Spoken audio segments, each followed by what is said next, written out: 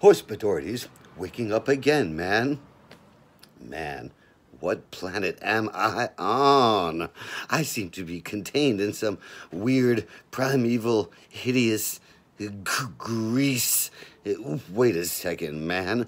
That is my horse pillowcase. Oh, I am alive and well in my own horse abominable life. Time to get up. Get up. Get up, man. You have got to get up and go out into the day and bring 15 year old chicks into your life. I am moving my horse Badorties feet, man. Getting my stuff together, collecting the various precious contents of my pad, man, which I must take along with me. I have the Japanese fan in my hand, man, and I am marching forward through my rubbish heap, cooling myself, man, on a hot summer's morning or afternoon, one of the two over to the window, man, which looks far out over the rooftops to a distant tower where the time is showing four o'clock in the afternoon. Late, man. I have got to get out of this pad, or I will circle around it again, uncovering lost treasures of ancient civilizations, and I will get hung up and stuck here all day. Here is my satchel, man. Now I must stuff it with essential items for survival on the street sheet music, fan, alarm clock, tape recorder. The only final and further object that must be packed into my survival satchel is the Commander Schmuck Korean ear flap, in case I happen to hear Puerto Rican music along the way. There are countless, thousands of other things in these rooms, man, I should take along with me in case of emergency, and since it is summertime, I must take my overcoat. I have a powerful intuition. It will come in handy. Many other things, man, would I like to jam into my satchel. All of it, man. I want to take it all with me. That is why I must, after getting the last drink of water, get out of here. Roaches scurrying over the gigantic pile of cake and stuck together greasy dishes in my horse Badorties sink. The water is not yet cold enough. I am going to let the water run here, man, for a second while it gets cold. Oh, don't let me forget to turn it off. Everything I need, man. Everything I could possibly want for a few hours on the street is already irrevocably contained in my satchel. If it gets much heavier, man, I won't be able to carry it. I am turning on the tape recorder, man, to record the sound of the closing door as I go out of my pad. That long, stringing, creaking noise, man, is the wonderful sound of freedom for horse Badorties. It is the sound of liberation, man, from my compulsion to delay over and over again my departure. Wait just a second, man. I forgot to make sure if there's one last thing I wanted to take. Back into the pad once more goes the insane one in his frolly. Did I forget to do anything? Take anything? There is just one thing, and that is to change my shoes, man. Removing these plastic Japanese shoes which kill my feet because here, man, is a Chinese gum rubber canvas shoe for easy horse Badorties walking.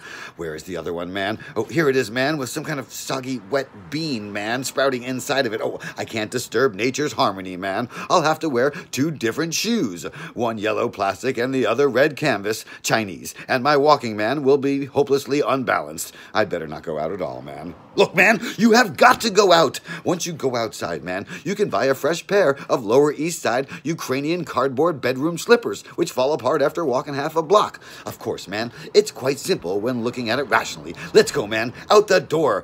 Everything is cool out the door again, man, and down the steps, down the steps. One, two, three flights of stairs. Jesus, man, I forgot my walkie talkies. I have gone down three flights of steps, man, and I am turning around to go back up again and get them. I am climbing back up the stairs because, though I am tired and falling apart, I cannot be without my walkie talkies, man. Common sense, man, must rule over bodily fatigue. It is miraculous, man. I am making a special recorded announcement of this miracle, man, so that I will never forget the moment of superb unconscious intuition. Ostensibly, man, I returned for my walkie talkies, but actually, it was my unconscious mind luring me back, man, because I left the door of my pad wide fucking open. Anyone might have stepped in and carried away the valuable, precious contents of my pad, man. And so I am back in the scrap heap man. The wretched, tumbled down, strewn about, fucked up everything of my pad, man. And I am seeing a further miracle, man.